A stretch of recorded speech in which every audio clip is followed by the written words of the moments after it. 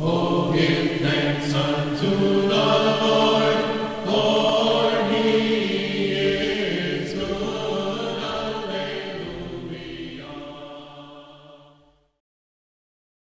Good morning, and welcome to the Gospel Minute from St. Michael's Orthodox Church in Geneva, New York. I'm Steve Toby. Before we begin, we have a few prayer requests. Ricky Lee's mother, Ruth, fell asleep in the Lord Monday evening, and we pray for her and her family. Also, we want to keep Karen Kralanovich and Michael Hatton and their families in our prayers for their health problems. Lord Jesus Christ, we ask that you keep and comfort the soul of our sister Ruth, who has fallen asleep. We ask that you provide comfort and strength to her family at this time. We also ask that you provide your blessings on Karen and Michael in their time of need. For through you comes all strength and all hope.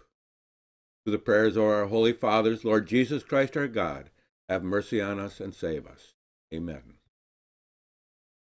Today will be a little different than usual. Each day we read our Lord's message to us from the Gospels, and that's a great and wonderful thing. But there's so much more to be learned from this wonderful gift from God that we call the Bible. In its essence, it is a love story the story of God's love for you and for me, and our love affair with Him and with our neighbor. But we should ask ourselves do we really know what love is? St. Paul, in his first letter to the Corinthians, chapter 13, verses 4 through 8, gives us a description of what true love is, and it is more than the love that a husband and wife share, but the love we must all share with one another, not only to those we know, but the stranger who we don't know. Let's hear St. Paul's message to us now. Love is patient and kind. Love is not jealous or boastful. It is not arrogant or rude. Love does not insist on its own way. It is not irritable or resentful. It does not rejoice at wrong, but rejoices in the right. Love bears all things, believes all things, hopes all things, endures all things. Love never ends. As for prophecies, they will pass away.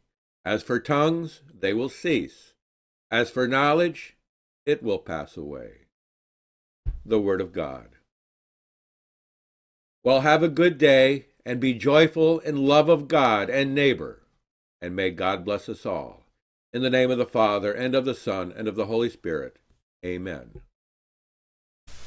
Oh, give thanks